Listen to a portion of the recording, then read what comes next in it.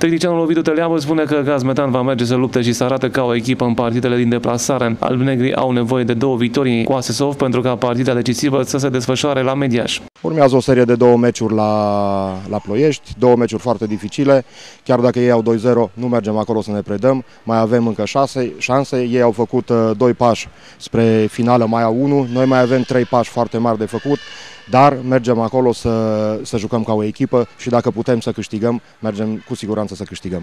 Partida cu numărul 3 a semifinalei dintre Gaz Metan și Asesov Ploiești se va disputa mâine după amiază, începând cu ora 18 și va fi transmisă în direct de Digisport 3.